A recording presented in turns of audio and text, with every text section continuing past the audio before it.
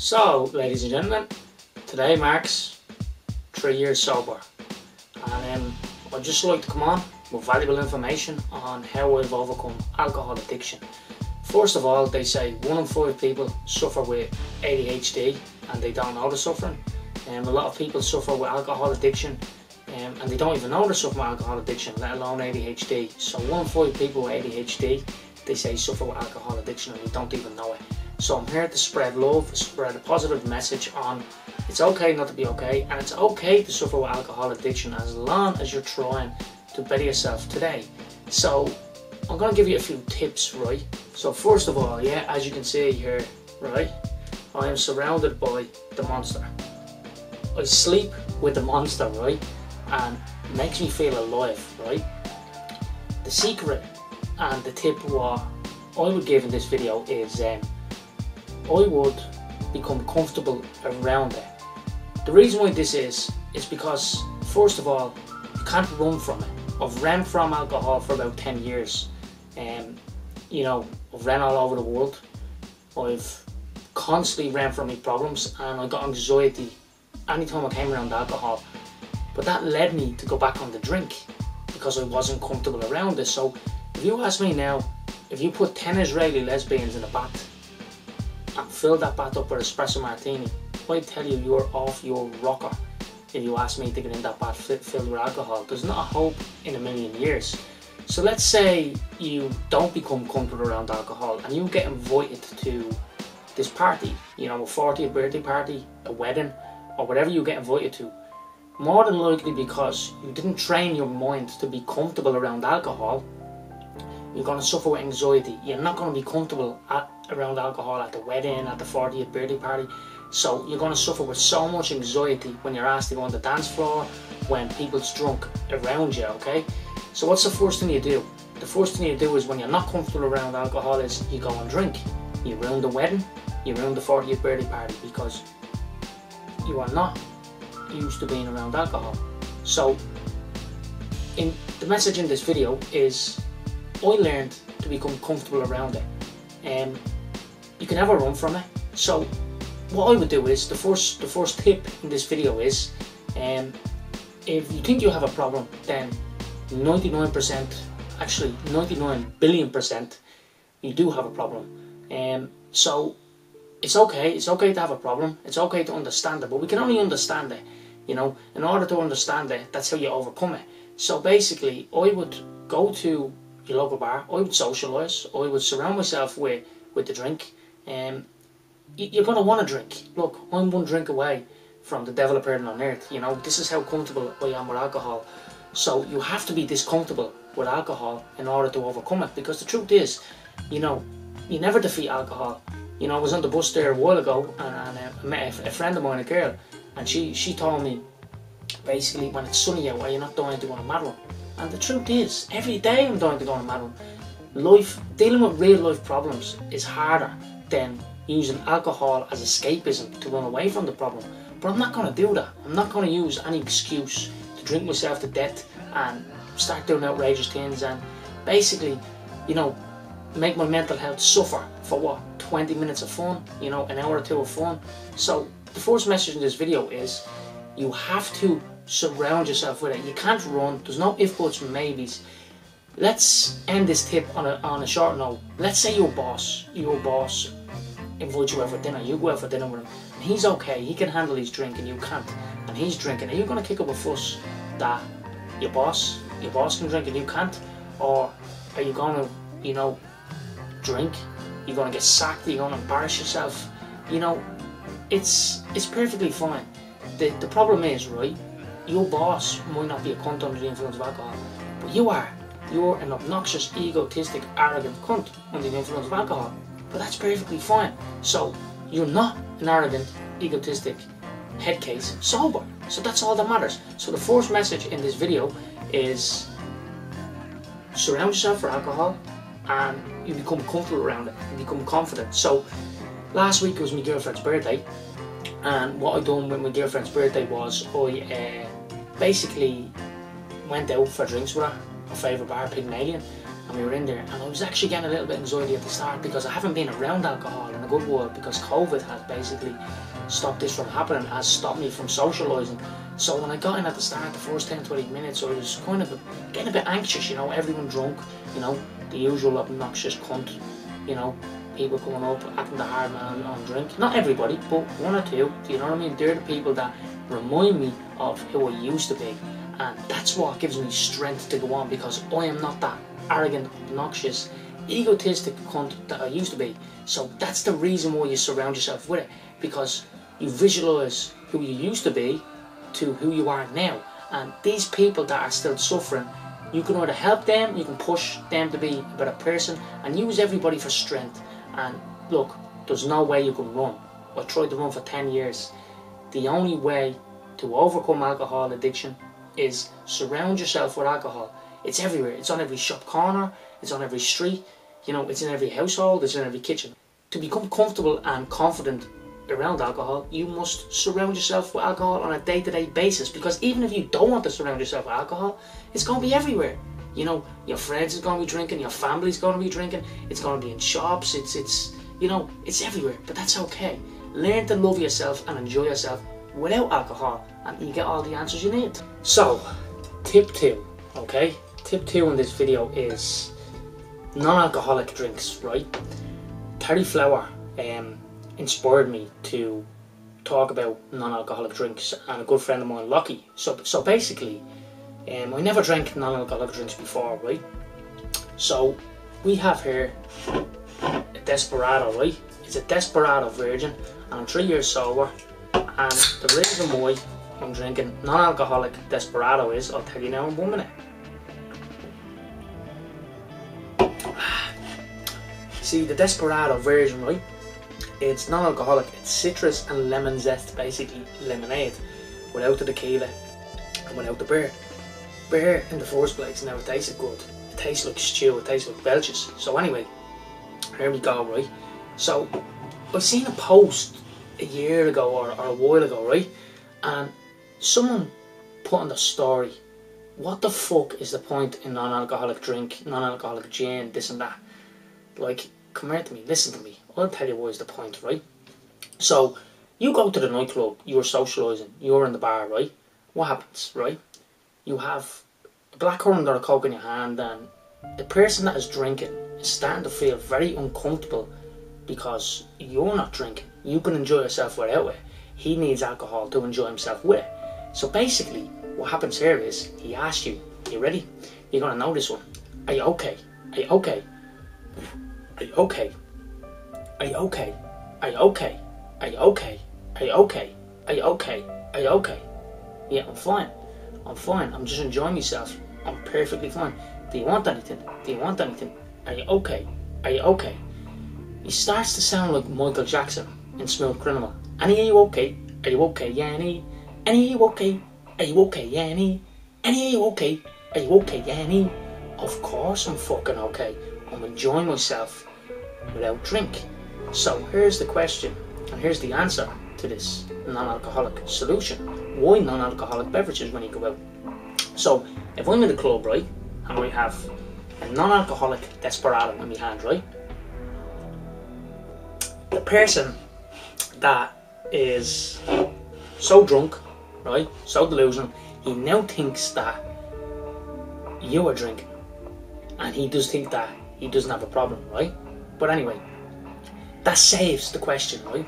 When he comes up to you, are you okay? Are you okay? You okay? You okay? You okay? You okay? You okay? You okay? You okay? You okay? You okay? You okay? You okay? You okay? You okay? That's what it sounds like, man. People make me out to be fucking mental. Can you imagine having to listen to that on a night out? You know, I'm wearing a fucking lemon or peach suit or a purple corduroy, you know, outfit. You know, denim jacket, pink shirt to match, you know, pair of, you know, chewing gum Wallabees. And he's asking me, you okay? Of course I'm okay. I'm wearing fucking chewing gum Wallabees with a purple suit in a nightclub while everyone's fucking drunk, you know. So, the same person, I'll give you a laugh, right? The same person that asks you about non-alcoholic drinks, right, is the same person that, sorry, the same person that asks you about are you okay? And keeps asking and keeps going on and on about it is the same person, the same cunt that asks you just to have one drink. So I'll tell you why I won't have one drink, right? First of all, I never liked alcohol, or you hated alcohol. I used alcohol as escapism, right? Because everyone made me out to be fucking mental. If you haven't noticed, I'm very fucking different, right? So, if you haven't noticed, you know, are you okay? Are you okay? Are you okay? See, see what I mean? These people, these people start to make me out to be mental, right? But anyway, so he just the people that ask you, you know, just have one drink. So first of all, alcohol put my grandmother in the state of depression and left her in homes numerous of times, right? Alcohol has ruined my family's life. It has ruined my life, right? So you mightn't be able to see it, right? I do look beautiful, but there's a scar right down here, right? And there's a scar on my chest, okay? It was because of alcohol my obnoxious, egotistic, arrogant, and scumbag low life behaviour that I got stabbed, right? Everyone says, ah, you didn't deserve to get stabbed, Glenn. Yes, I did. And the truth is, I don't even know what happened that night, and I apologise to anybody that I upset over the years for my obnoxious, egotistic, arrogant, and scumbag behaviour. But we won't get into that too much. We'll leave that for the next tip. But anyway, you know, people say you can't use excuse for drink because of your actions. People say you can't use, you know, you know, mental health, this and that. But, you know, why was I outrageous? I was outraged because I was suffering with ADHD. I was outraged because I was suffering with OCD. I was outraged because of traits of psychosis. I'm even fucking lactose intolerant. Of course, I'm going to be a raving nutcase when you put a drug on top of that. And when I say a drug, alcohol, the most delusional drug in the world.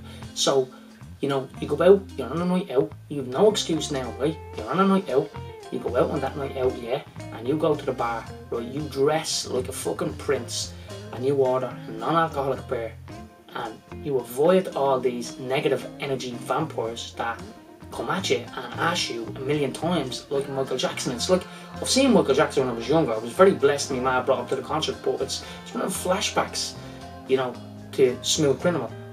And are you okay? Are you okay, Annie? Annie, are you okay? Are you okay, Annie?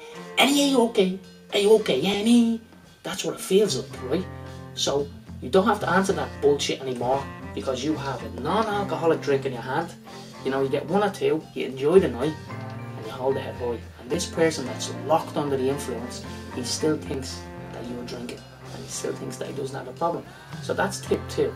Tip two: non-alcoholics, they're actually all right. I don't like the taste of beer, but you can get so much now, as you can see, I'm drinking a Desperado.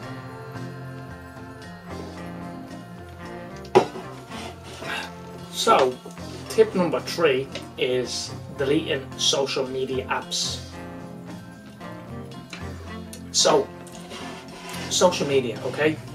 Why is it important to shut down social media apps? Why is it important to sleep right, eat right, and give yourself the best possible chance? Um, so, we had a big problem, and this video is uh, is dedicated to the kid Dynamite. He doesn't want to be named. You know, he doesn't care about anything. He's just always trying to better myself and better everyone else around him, apart from himself. To be honest, he's an inspiration, and because of him, I get to live, live happy, live positively, and live doing what I love. But anyway, enough talking. Um, like I'm something of the alchemist. But back to the main point social media okay so the reason why you shut down social media right if you're up right 4 5 a.m 3 a.m if you're looking scrolling at people living a lie all the toxic behavior all the negative bullshit on social media right you're gonna feel shit about yourself i've noticed a pattern in the last three to five years about myself right and um, i get serious anxiety and i start to suffer with my mind when I'm scrolling and I'm up all night, right? So before you can defeat alcoholism, when you can never defeat it, you have to learn to live with it. You know, look how close I am. You know, one drink and boom, you know, revolution job, you know. Literally, I'd end up, you know, taking down Leo Varadkar, you know, taking down the Irish government if I had two bottles the way they're carrying on at the minute. But anyway, not to talk about that. You have to give yourself the best possible chance at life, right? You have to be on top of your game. You have to be focused, right? You have to wake up at the crack of dawn, right? You have to have all the energy in the world. And the first thing you notice when you shut down social media, you're not going to want to do it. You're going to want to scroll. You're going to want to message every board under the sun. You're going to want to be up on like scrolling, looking at absolute Mars bars on social media. But they're not going to get you any better. They're not going to help you overcome alcohol addiction. Um, so basically, you put all the energy you have from what you would have used scrolling, you now put into yourself, your well-being. Self-help books are incredible. They've helped me so much. Not only self-help books, educating yourself. You know, there's podcasts on Blindboy, there's podcasts on Russell Brand, Allen Carr's How to Control Alcohol. You understand the problem, right? You understand, right? Why do I projectile vomit every night? Why do we do outrageous things under the influence, right? Do you think you're the only one that does outrageous things under the influence? Do you think you're the only one that can't go out without causing murder? You know? The problem is, we're one drink away from being homeless, from being, you know, waking up in a coffin. You know, I was watching Amy Winehouse last night and she got clean for the first time. It was the doc- documentary I was watching. She got clean for the first time. She won, she won a Grammy. I think it was five Grammys or something. And she mentioned, um, very sad. I'm actually fucking nearly even getting tears, getting goosebumps thinking about it. She mentioned that when she called a friend, she brought a friend up on stage, and uh, oh man, it's it's addiction. Nobody talks about it. You know, nobody nobody tells you how bad it is, and you know the suffering behind it. But anyway, look, Amy Winehouse brought a friend up on stage, and she said to her friend, she says, you know, it's not fun. It's boring. It's boring without drugs, and this this is it. It's would you rather life being boring and alive, or you know, one night on drugs or drink, ended up in a coffin? You know, I've been stabbed. I've almost committing suicide. I've almost, you know, endangered other people around me. I'm lucky that my mother is still talking to me. I'm lucky that I'm still alive. I've lost a lot of friends through addiction and mental health. So it's fine. It's fine, but look, it's never too late to change. So the third key point in this video is having energy. You know, if you don't scroll on social media, that's fine, yeah? Take a break, take six months. Read Allen Carr's How to Control Alcohol. He has an audiobook out there if you don't read. Russell Brand's Freedom, right? Just educate yourself now. Time, we never have this much time in our entire life, right? So time we never get back. So now is the most valuable time to use this time and energy instead of scrolling, using it to better yourself and to learn and to understand the problem, and then the problem goes away. Another tip in this video would be um, how I how I overcame alcohol was uh, I was on a night out in Sweden, and um, I was looking at the drink, you know, um, and something came over me. I woke up inside, living inside a castle wall that was built in the 13th century in Gotland in Sweden, and uh, basically, you're living inside a castle wall. You have a CV that can um, take you anywhere in the globe. You can literally, you can be anywhere. You can live anywhere, literally anywhere you want. New Zealand, Canada, the Cook Islands, and you're miserable. You can't look in the mirror. So that's when I had enough, and something came over me. I was studying and reading, and um, I bought a bottle of vodka, and I spent hours upon hours looking at it, and I says to myself, right, I'm gonna drink it. I'm gonna have one last party. I'm gonna run amok, and if I'm still the same it, then I'll never drink again. If somehow I can enjoy myself on it without doing stupid stuff, then you know I, wa- I, will I will continue to drink. Basically, I woke up in a bush with my trousers down, um, projectile vomit all over my white jeans, white shirt, long hair, white brand new coats, and that was enough for me. So the reason why I recommend buying drink before you go, go out with a bang, go out with fireworks, you know. But also look at that drink and have a long think about, you know, a long think about what alcohol is doing to you, what alcohol has done to you, what alcohol has done to your family, what alcohol has done to your friends, what alcohol is going to do you, going to do to you, and where are you going to go with alcohol? Because I'll tell you, you're going to end up in a mental home, or you're going to end up in a brown box. It's as simple as that. Right, tip number five. Okay, tip number five. So, got a question recently, yeah? Um, how do you pull women on alcohol? Well, first of all, I have a beautiful girlfriend asleep downstairs. Um, she's a woman, but more important than that, she's the most beautiful, open-minded, with the strongest and biggest heart I've ever met in my entire life, right? Do you think I was I would be capable enough of pulling her drunk? No, because nobody wants a dickhead. Nobody wants an arrogant, egotistic, obnoxious scumbag under the influence, right? Nobody wants that, no matter how much you think. Let's talk about energy vampires. Do you ever get the girls, right, that stick their vans straight into your neck, right? You know, you're literally visiting them on the balcony, right? And they're putting all the problems on top of you. So now not only do you have your own problems, you have these energy vampires problems. So you have your problems and the energy vampire problems. And then your pockets is full from carrying garlic because I'm fucking sick of giving these energy vampires garlic. But anyway, right?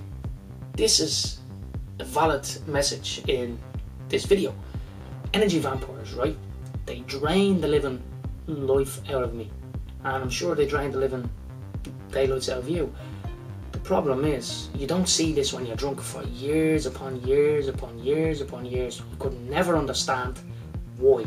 Why the fuck in name of Jesus is am I surrounding myself with these women? Am I surrounding myself with these absolute, you know, energy vampires? People that drain the life out of you. People that are still chasing the dragon. People that still fighting the bottle. Um, and I feel for them. I feel for them. But the thing is, can you imagine you? You're now suffering with alcohol addiction, and the women that you're surrounding yourself is suffering with alcohol addiction. So now you're suffering with your addiction problems. You're suffering with the energy vampires addictions problems, and you're also suffering with with the weight of carrying garlic around because that's what you that's what I do. I give energy vampires garlic. But anyway, so in this video, you know, sending energy, energy vampires garlic. But but back to this, pulling women. First of all, nobody wants a dickhead. Nobody wants an arrogant, egotistic, obnoxious dickhead on the drink. You know, you might think, oh, I got with unbelievable boys on the drink. But where were they the next morning? Did they write back to you? No. I could never understand why I could never get a decent woman. And I mean a decent woman, I mean a positive, powerful woman with goals, with, with the mindset of my beautiful girlfriend, Toya Sala. That's that's the type of women you pull. You pull positive women. So try it. You know, you go into the bar, order the coffee. You know, the most interesting person in the bar is the person brave enough to order coffee while everybody is watching. I'm telling you now, try it. And obviously, you know, another message in this video is basically like don't go to the same bars, right? If you're going to these session bars where everyone's getting off the rocker, right? Where you used to be, you are not going to relate to this because sober life is totally different. You're going to relate to positive people, people that want to do something special with their life, right? People that want to want to be somebody, want to like have you know, people with work ethic that work towards a brighter future, having having an impact and making positive changes on this on this world, and that's what it is. So you're not going to relate to these people that's chasing the dragon when you are now totally different person. So another message in this video is may as well kill two birds with one stone. Is you need to change your circle. You need to completely change your circle. So no disrespect to anybody in this video, and I'm not naming anybody, but there is a very, very small few of my friends since day one that is still here now that I'm sober. You know, do a trick. Here's a trick for you, right? So, do you ever hear of like you know your best friend that's always there for you on nights out, right? What about funerals? What about you know when shit's the fan? What about when you're depressed? What about when you're sad? What about when you're on your own on a Monday night and nobody will go out, you know, Nobody will go out drinking with you. Where's your best friend now? Then you must ask yourself, are they your real best friend? Because, I'll tell you what, here's a trick, right? I want you to never message this best friend first, right? And see how long it is or how long they go until they call you first or until they message you first when you're not drinking, right? I'm still waiting on three years for my best friends to fucking message me. And I'm starting to think that my best friends are not fucking best friends. I'm starting to think that my best friends were fucking imaginary. Because it's like I had imaginary friends because now that I'm sober, they fucking what to be saying. Fucking I'm like Peter Pan. No wonder why fucking I'm gone, gone crazy. All these friends, where did they now? They disappeared. It's like they fell down the sink or something. Do you know what I mean? So, um, let's leave it at that. But the last message I want to send in this video um, is look, right, listen to me, yeah? So basically, uh, right, it's perfectly okay not to be okay. I wasn't okay for a long time, and I'm just about okay now. When I say just about, you know, everything has to be fabulous. You know, diet has to be reasonably okay, sleep has to be perfect. You know, friends, I can't surround myself with energy vampires. You know, the intrusive thoughts, the negativity will climb back in.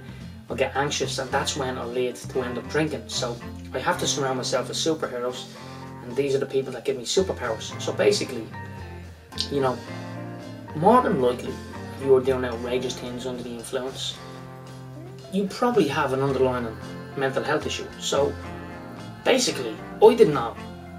I kind of had an idea, but I didn't know. You know, my mate Emmet Brennan that is fighting in the Olympics next week. He's the type of people that you should surround yourself with. Olympians with Olympic mindset and attitude. So he was telling me for years, seek professional help, get help. You're mental, you're crazy, Glenn, you need help, I'm worried about you. And I tell him to fuck off, I tell him I'm great, I tell him he's a pussy. But anyway, he is a pussy, but he's a legend. But listen, right, so it's okay not to be okay. It's perfectly fine. The reason why anyone can call me crazy, the reason why I've done outrageous stuff like a lot of people are quick enough to bring up the past like uh, pissing in my mouth, being stabbed, you know, other stuff. The list goes on and on and on. Throwing shit at people in train stations under the influence, right? I'm outrageous, right? But do we do that stuff sober? No, I don't. That is perfectly fine as long as I don't do it now. And the past doesn't matter. So the thing is, it's like of yet define the human that defines normality. There's something wrong with everybody, you know. Some people are overweight, some people are underweight, some people are lactose intolerant, some people are OCD, ADHD. Everybody has some sort of issue in life. Nobody's born perfect, not even me. Um, not even Kyle Salah downstairs is born perfect. Um, but anyway, the message in this seeking professional help um, over a year ago has changed my life. Literally, I have learned to live with my so-called ADHD, OCD, my, my energy and obsessiveness, right? And I've learned to live and understand enough, right? For instance, I read, I study ADHD, I study OCD, I study lactose intolerant, and I still study alcohol. And as you can see, I'm studying it now. It's right beside me. And this is how I've dealt with overcoming alcohol addiction so what you do is, it's perfectly fine. Perfectly fine to seek professional help. You don't even have to tell anybody, you know. More than likely, the reason why you are acting up on alcohol or doing stuff on alcohol is because, you know, you could have ADHD. You could have other things wrong you. You could suffer with, with anxiety and you drink to overcome this anxiety. But it's only going to make it worse because you you're drinking to overcome anxiety, but then the next morning you're waking up with three times to four times more anxiety. So, isn't it better to only have, let's say, 50% anxiety rather than have 250% anxiety in the long run and use and drink to escape the world, the real world? And, and this is it. So, anyway, I hope this message in this video helped. Um, we've been working on a book and more than likely I'm going to be locked up. And I just want to give a hint. Um, it will not be released in my name it will be released under Oscar O'Reilly. You heard it here first. And yeah, I want to wish us all a happy sober day, and um, I want to thank everybody that stood by me since day one. It's um, it's been a blessing, it's been a pleasure, and life only starts when you become sober. Thanks.